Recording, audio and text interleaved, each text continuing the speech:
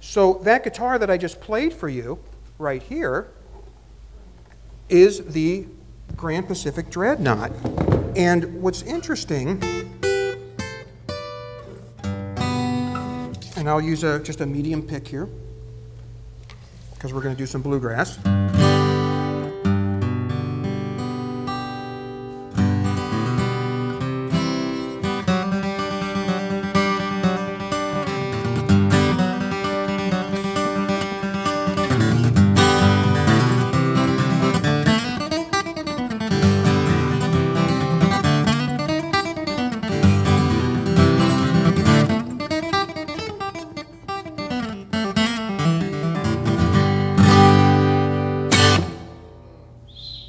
Yeah. Give it up for the little Italian kid. All right. I love you guys. so, what we have is we have a dreadnought that gives you that wonderful, warm, mature sound. What, what, what the heck is warm and mature? I'm so glad you asked. You have great questions. Let me compare. This is a uh, a solid Sapele back and side, spruce top, 317E. Okay, everybody got that? USA made. Uh, this guitar has a normal street price. Normally, I don't talk pricing, but just so no, you know, we don't. It doesn't matter what it costs. It's under two thousand dollars. Okay. But here, I'll wait if you want to get that phone call. Okay. Just teasing. This guitar is the 314. Sapele back and side, spruce top, the, the, the, exact same series in wood, but this is a grand auditorium. So I'm going to try to play the exact same lick so you can hear the difference. Do you remember what the other one sound like? Okay.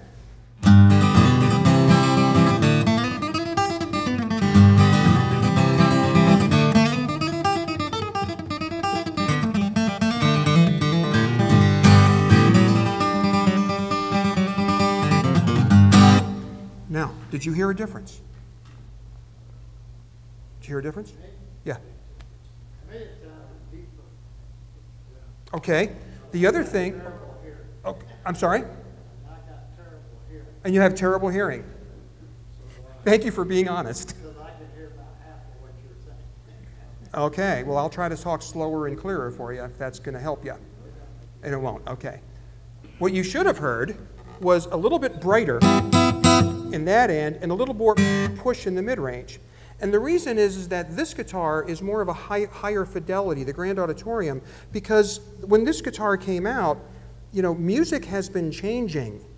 The, excuse me, let me take that back. Well, it has, but let me take it back. The role of the guitar in music has been changing. More behind the back chords, you know.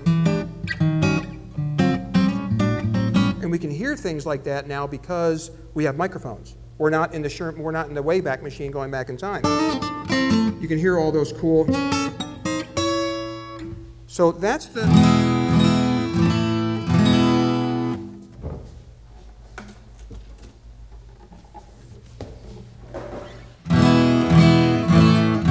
You should be able to hear a huge difference there. That was much more mid-range heavy and, and didn't have the brightness. So two totally, entirely different uses of a guitar, which is why you need both. You guys are welcome. Guys in the back of the room. Okay, so let's continue on with Grand Pacific. The next Grand Pacific we have is a mahogany. Sapele and mahogany are kind of like cousins. Uh, sapele is like a faster growing. The mahogany is a little bit more, more of a mature type of wood. And this one has a, uh, the 517 and the 717 guitars that I'm going to show you. We're classifying these as Builder's Editions guitars. And what that means is that Andy has added a couple of tweaks to these guitars that make them just a little bit more special, a little bit more desired, uh, desirable, I should say. Um, so let me go through a couple of them with you. The edges here are rounded.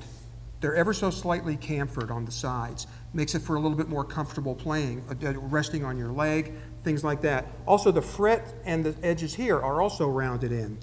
He even took the bridge to kind of like so, go, to go with the soft shoulders, and he rounded the bridge. On the back of the guitar, on the neck, up here, uh, there's a very soft V carve. And it goes from, a, from that to like a C or a D shape. So we're, we're actually calling this a compound carved neck. The reason that that's kind of cool is that your hand is in a different position when you're here than when you're here. All right? You're, you're playing, you're, you know, you're, I'm, I'm, I'm exaggerating, of course, but you do this as you come up. And as you.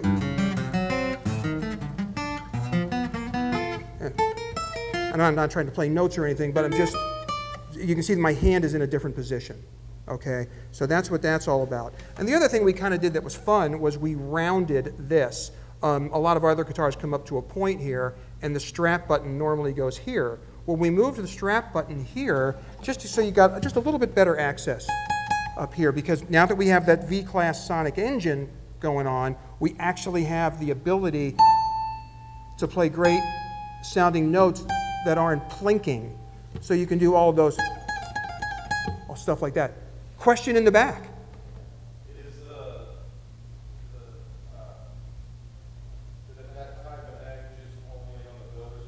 Correct. On the 517 and the 717 only. Yep, great question. So, what does a mahogany sound like? Well,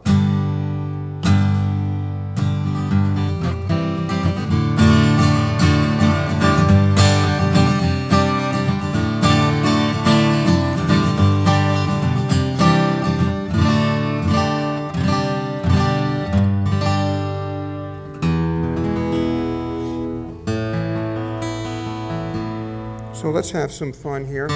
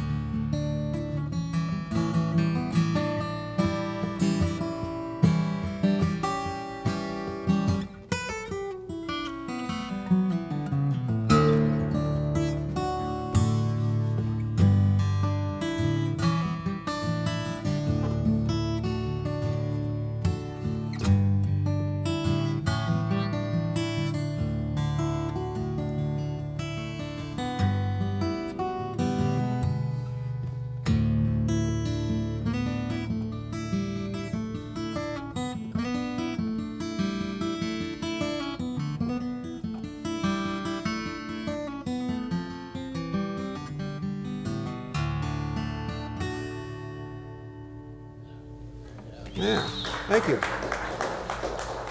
You know, the, normally, normally you would always use a mahogany guitar if you're a strummer. You know, if you're the guy. It's very focused, it's very flat, it doesn't have high end, it doesn't have low end.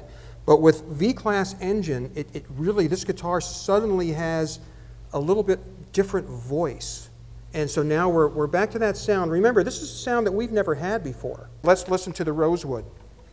Now, the Rosewood guitar, the 717, everything I told you about the 517 is still correct on the 717. The difference is this one is Rosewood. Rosewood on a scale, uh, if, if we're uh, talking about a graphic equalizer, Rosewood does this.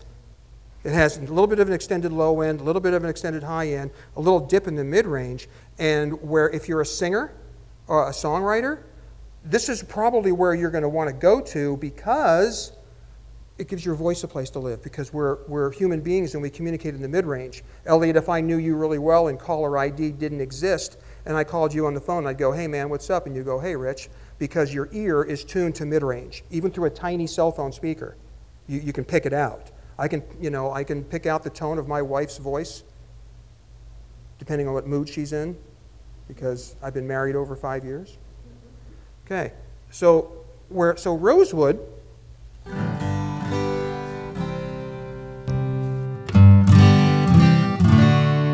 You should be able to hear the richness of that.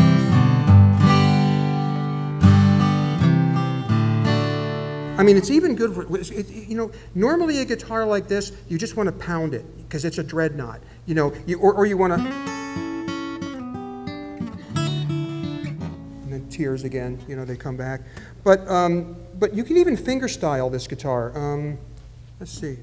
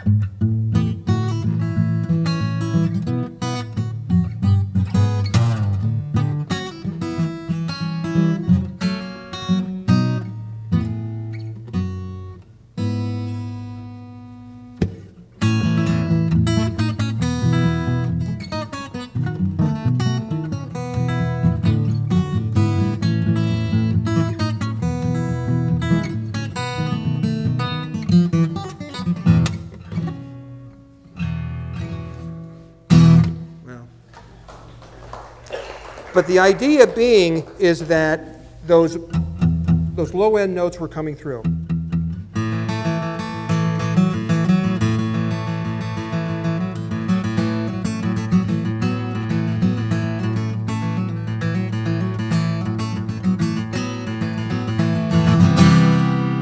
And everything that comes through really clear.